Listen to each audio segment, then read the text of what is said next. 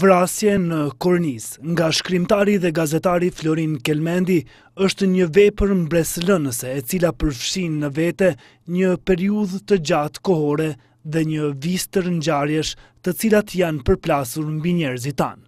Dramaturgu Shaip Grabovci tregoi se romani Vrasje në kornizë lidhet me një pikturë. Një personazh të gjallë.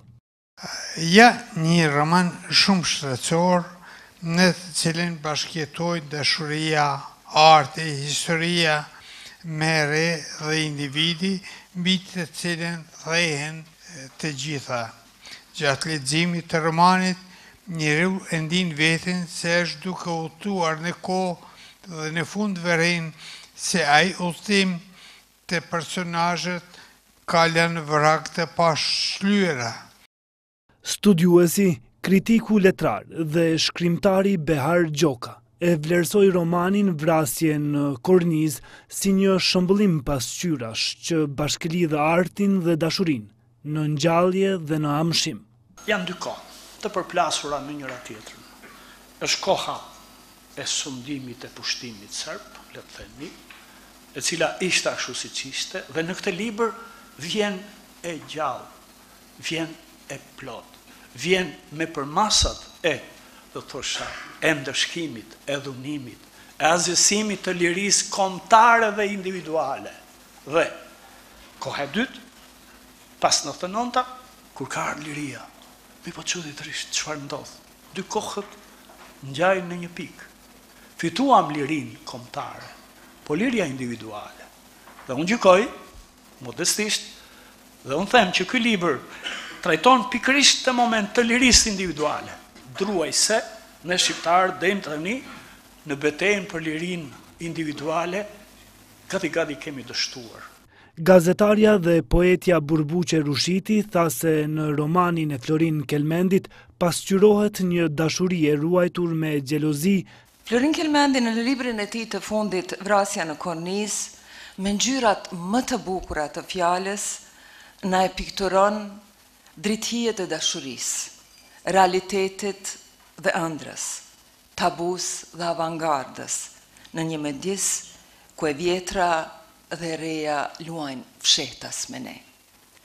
Autori duke hyrë thellë në shpirtin e femrës, e shpreh në mënyrë briliante ëndrrallën pasionante, dashurinë e ruajtur me xhelozi thellë diku në ylberin e shpirtit të Artës, personazhit, të kornizuar bashkë me ndjenjat e saja në një pikturë. Përderisa aktorja Safete Rogova mes të tjerash tha se autori përmes rrëfimit të Artës piktore dëshmon se dashuria e sinqertë e gruas nuk pushon kurrë.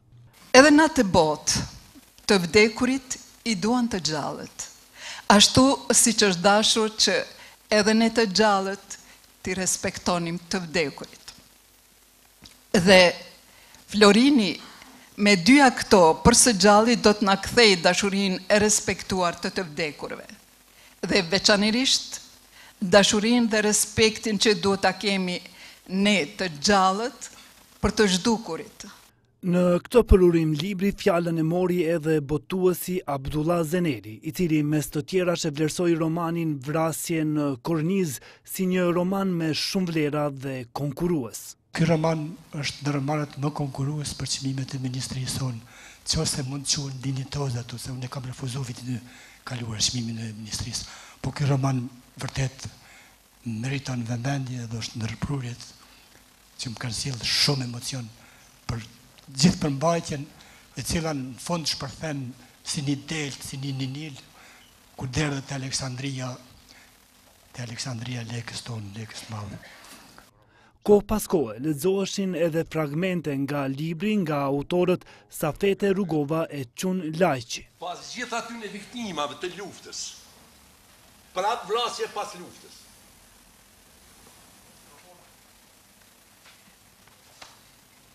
Pra fillun të më sillëshin nëpër kokë luftëtarë, çlirimtarë e fitimtarë të luftës së dytë botërore.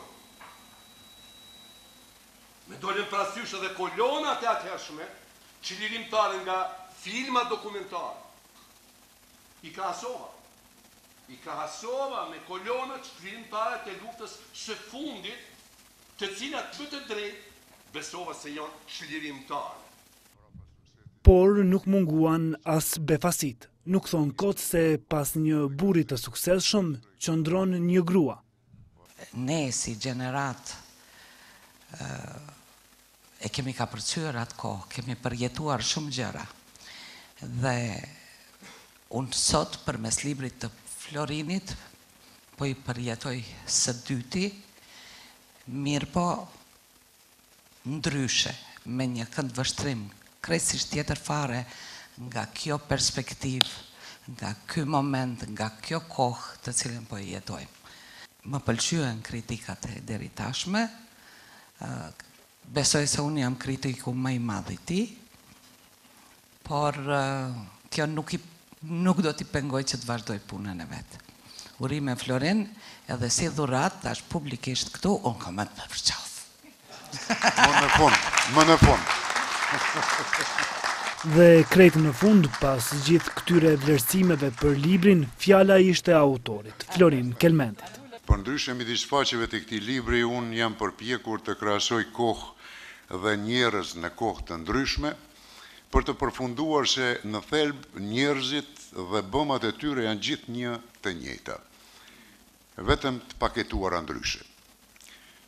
Si të gjithë edhe unë e shoh jetën si një periudhë kohore të përcaktuar nga faktorë të ndryshëm, e cila kohë rrjedh në një hapësirë të përcaktuar po ashtu nga shumë faktorë, e përcaktimin e kufijve të jetës dhe të hapësirës në të cilën zhvillohet jeta, unë e kam imagjinuar në një kornizë pikture në të cilën përpëliten të priturat e të papriturat jetësore.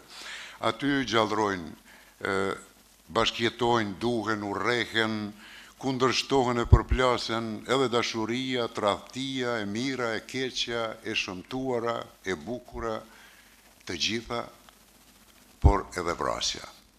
Vrasje në kornizë është prozë rrënqethëse ku ndërthuren jeta, arti, ëndrrat e personazheve ikona që përpëliten në një kohë jo të largët, ardhur fuqishëm deri në ditët tona, korniza një simbol kufizimesh dhe lirie.